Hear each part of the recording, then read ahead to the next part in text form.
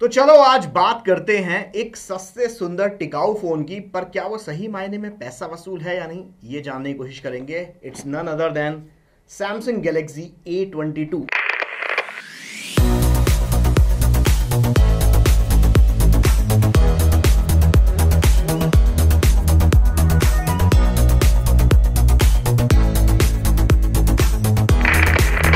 twenty two A twenty two का first impression कैसा है, ये बताता हूँ मैं आपको। सबसे पहले अगर लुक्स एंड डिज़ाइन की बात करें तो दिखने में नो डाउट बेहद खूबसूरत दिखता है। मिंट कलर का फ़ोन हमारे पास आया है, काफ़ी खूबसूरत दिखता है और मैट फिनिश दी गई है। पीछे का बैक पैनल जो है, ये मेटल ग्लास मत समझिएगा बिल्कुल भी, क्योंकि मेटल ग्लास नहीं, बल्कि ग्लास्टिक है। ये टर्म जो है सैमसंग ने कॉइन किया है, जिसका मतलब ऐसा होता है, ऐसा ऐसा मटीरियल जो दिखने में ग्लास जैसा दिखे, पर हो दरअसल प्लास्टिक। तो भैया, प्लास्टिक है पीछे और प्लास्टिक के होने के कुछ फ़ायदे भी हो जाते हैं बाय द वे ऐसा मुँह मत बनाइए कि प्लास्टिक या प्लास्टिक बैक पैनल दिया है। फ़ायदा नंबर एक ये है कि एक तो मैट फिनिश और प्लास्टिक बैक पैनल होने का, ये जो कॉम्बिनेशन इसके कारण से इसका बैक पैनल फिंगरप्रिंट मैग्नेट बिल्कुल भी नहीं है। मतलब उंगलियों के निशान मतलब बिल्कुल नहीं के बराबर ही इस फ़ोन के बैक पैनल के ऊपर पड़ते हैं, जिससे होता यह है कि आप इस फ़ोन को बगैर बैक केस के या फ़ोन कवर जो होता है उसका यूज़ कर सकते हैं तो फ़ोन इसी तरीके से खूबसूरत दिखेगा आपके हाथों में।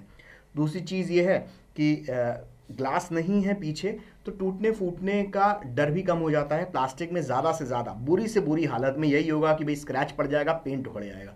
पेंट उखड़ जाए तो दीदी या गर्लफ्रेंड का नेल पेंट लगा के उसको ठीक कर लेना। मत करना, बहुत बुरा आइडिया है। तो 6.6 इंच का वो इन्फिनिटी वी वाला नॉच डिस्प्ले इसके अंदर दिया गया है। बड़ा डिस्प्ले है, साढ़े छः इंच का 6.6 इंच का डिस्प्ले है। लेकिन इस डिस्प्ले के अंदर जो अच्छी और बुरी बातें, सब मैं आपको बताता हूँ। पहली चीज़ तो है 90 हर्ट्स के रिफ्रेश रेट वाला डिस्प्ले दिया गया है। इसी बजट में सेम बजट में सैमसंग के ही कई सुपर एमुलेट या एमुलेट स्क्रीन वाले डिस्प्ले देखने को मिलते हैं। लेकिन ये जो जनाब है ना सैमसंग ए ट्वेंटी टू पता नहीं क्या सोच के सैमसंग ने इसके अंदर टी एफ़ टी डिस्प्ले डाल दिया।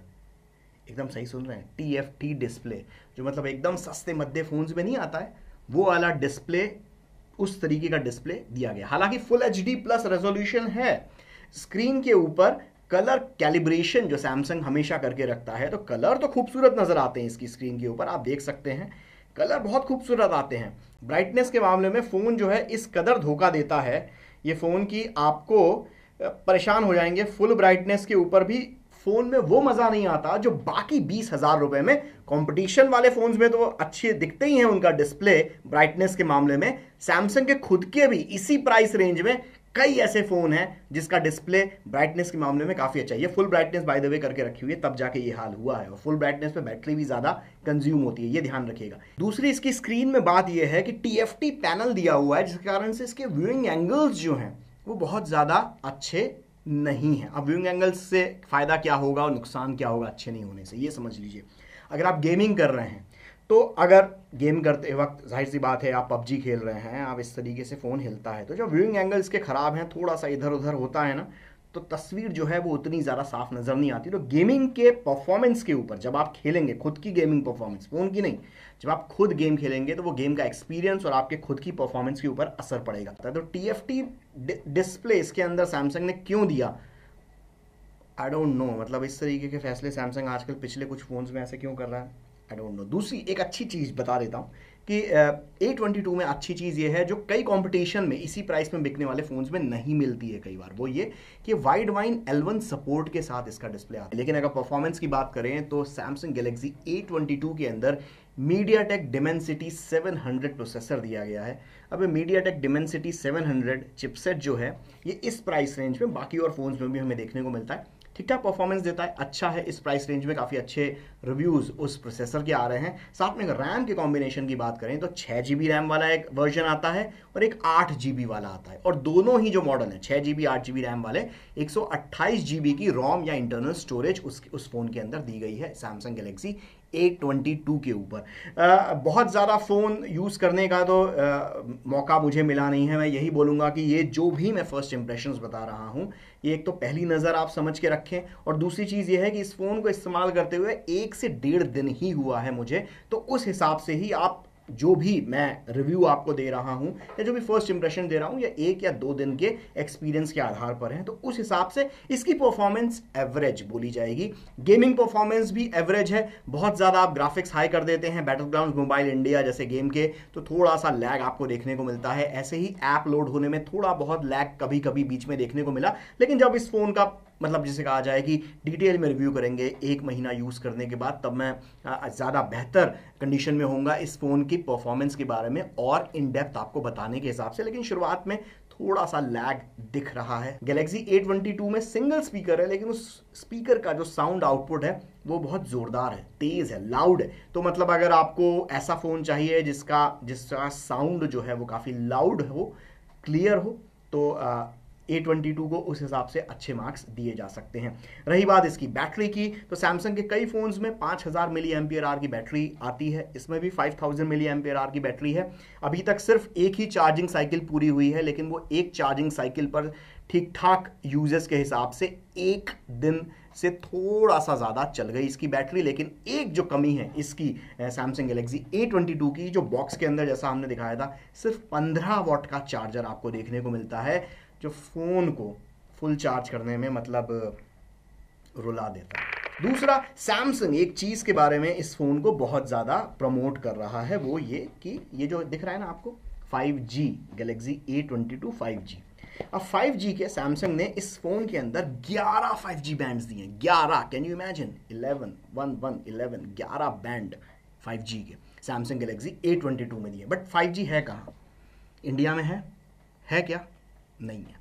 अब 5G इंडिया में कब आएगा, आपको पता है?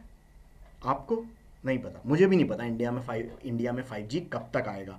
और जब आएगा इंडिया में 5G खबरें ऐसी आ रही हैं कि ट्रायल्स जल्द ही शुरू होने वाले हैं जियो वोडाफोन एयरटेल के 5G के।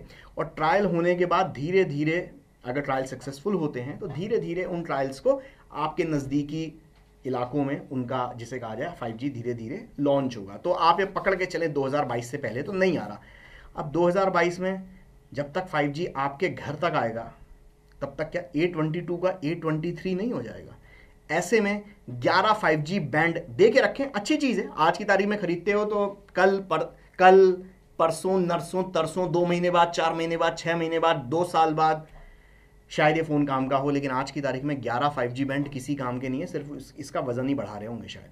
और तो कोई जिसे कहा जाए, फ़ायदा नहीं है ग्यारह फाइव जी बैंड क्योंकि फाइव जी अभी है ही नहीं। दरअसल कंपनीज़ भी तुक्का लगा रही हैं कि ये नहीं तो वो बैंड चल जाएगा, वो नहीं तो कम से कम ये तो चली जाएगा बैंड इसलिए ग्यारह फाइव जी बैंड देकर रखे हुए हैं और इसका कोई फ़ायदा अभी आज की तारीख में और कुछ भी नहीं होने वाला है। ये ज़रूर है कि ग्यारह में से कोई एक चीज़ तो होगी तो प्रॉबेबिलिटी जो है इसके ऊपर 5G इंडिया के अंदर सपोर्ट करेगा कि नहीं तो वो प्रोबेबिलिटी ज़्यादा हो जाती है 5G सपोर्ट करने की, बहुत ज़्यादा हो जाती है इनफैक्ट मैं बोलूँगा।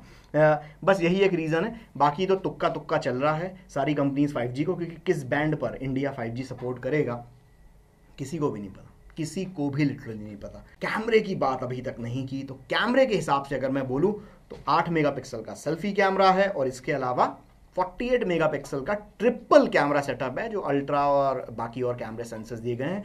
कैमरे के मामले में मैं हमेशा कहता हूँ कि एक दिन के यूज़ में, एक दो दिन, हफ़्ते भर के यूज़ में कैमरे की सही औकात आप जान ही नहीं सकते। क्योंकि कैमरे को इस्तेमाल करना पड़ता है वक्त तक तो जब इस फ़ोन का फुल रिव्यू करेंगे, तब कैमरे के बारे में मैं और इन डेप्थ आपको नॉलेज दे पाऊँगा। अभी के हिसाब से तो फ़र्स्ट इंप्रेशन में ऐसा लग रहा है ओवरऑल फ़ोन मेरे हिसाब से Samsung Galaxy A twenty two overpriced है। क्यों? टी एफ़ टी डिस्प्ले यार। मतलब और 15 वॉट की सिर्फ़ चार्जिंग मतलब इसे इस फ़ोन को ए ट्वेंटी टू की कंपटीशन में तो सैमसंग के यार ढेरों इस प्राइस रेंज में बिक रहे हैं फ़ोन जो मतलब इसे पीट डालेंगे बुरी तरीके से। और सही मायने में सैमसंग की सबसे अच्छी बात यार, आज तक मतलब पिछले पंद्रह सालों से सैमसंग के फ़ोन्स के बारे में मैं ये बोल रहा हूँ कि भाई सैमसंग के फ़ोन्स की सबसे अच्छी खूबी जो होती है उनका डिस्प्ले होता है। डिस्प्ले के मामले में सैमसंग को कोई मात नहीं दे सकता। बट भाई ये क्या है ये?